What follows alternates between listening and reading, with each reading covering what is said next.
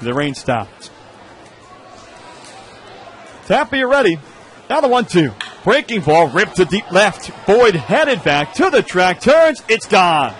Jorge Saez straightens it out, keeps it fair, and clears the left field wall with a three run homer. The Fisher Cats have a 4 0 lead. If at first you don't succeed, try, try again. He pulled one foul by a few feet.